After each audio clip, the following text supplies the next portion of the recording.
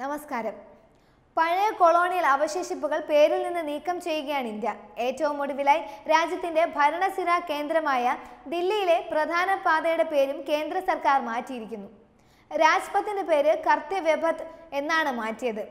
രാഷ്ട്രപതി ഭവൻ മുതൽ India gate വരെയുള്ള ഭാഗമാണ് ഇനി മുതൽ കർത്തവ്യപഥ് എന്ന് അറിയപ്പെടുക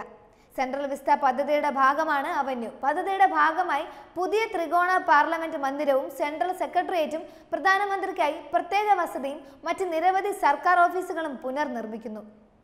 റിപ്പബ്ലിക് ദിന പരേഡ് കടന്നു പോകുന്ന ഈ പാത ഇന്ത്യയുടെ സ്വാതന്ത്ര്യ ചരിത്രത്തിന്റെ സുപ്രധാന പങ്ക് വഹിക്കുന്ന പല ചരിത്ര സംഭവങ്ങൾക്കും സാക്ഷിയാണ് കേന്ദ്ര സർക്കാർ നവീകരണം നടത്തിയ സെൻട്രൽ വിസ്ത അവന്യൂ സെപ്റ്റംബർ എട്ടിന് പ്രധാനമന്ത്രി നരേന്ദ്രമോദി ഉദ്ഘാടനം ചെയ്യാനിരിക്കെയാണ് ഈ ഭാഗത്തിന്റെ പേര് മാറ്റി ഉത്തരവിറക്കിയത് കിങ് ജോർജ് അഞ്ചാമന്റെ കാലത്താണ് ഈ പാതയ്ക്ക് കിങ്സ് വേ എന്ന പേര് നൽകിയത് സ്വാതന്ത്ര്യാനന്തരം കിങ്സ് കിങ്സ്വേ ഹിന്ദിവൽക്കരിക്കപ്പെട്ട് രാജ്പഥായി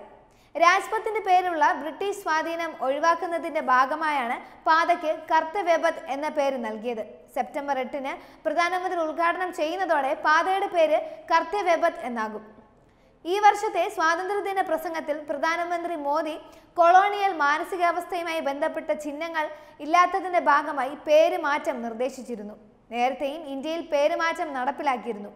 മുമ്പ് റേസ് കോഴ്സ് റോഡ് എന്നറിയപ്പെടുന്ന പാത രണ്ടായിരത്തി പതിനാറിൽ ലോക് കല്യാൺ മാർഗ് എന്ന പേരിൽ പുനഃനാമകരണം ചെയ്തിരുന്നു അതുപോലെ തന്നെ ഔറംഗസേബ് റോഡ് രണ്ടായിരത്തി പതിനഞ്ചിൽ A P J Abdul Kalam റോഡെന്നും മാറ്റിയിരുന്നു മുഗൾ ചക്രവർത്തി ഷാജഹാന്റെ മൂത്ത പുത്രനോടുള്ള ആദരക സൂചകമായി രണ്ടായിരത്തി പതിനേഴ് ഡൽഹി ഹൗസ് റോഡിന്റെ പേര് ദാരാ ഷിക്കോ റോഡ് എന്നാക്കി മാറ്റിയിരുന്നു രണ്ടായിരത്തി പതിനാലിൽ ആദ്യത്തെ എൻ ഡി എ സർക്കാർ അധികാരമേറ്റതിനു ശേഷമാണ് ദില്ലിയിലെ പേരുകളിൽ പലതും മാറ്റപ്പെട്ടതെന്നും ശ്രദ്ധേയമാണ് അതിനു മുമ്പ് ആയിരത്തി തൊള്ളായിരത്തി തൊണ്ണൂറ്റി ആറിൽ മദ്രാസ് നഗരത്തിന്റെ പേര് ചെന്നൈ എന്ന് മാറ്റി തമിഴ്നാട് സർക്കാരും രണ്ടായിരത്തി പതിനാറിൽ ബംഗളൂർ നഗരം ബംഗളൂരുവാക്കി കർണാടക സർക്കാരും മുന്നോട്ട് വന്നിരുന്നു വെബ് ഡെസ്ക് തത്തുമൈ ന്യൂസ്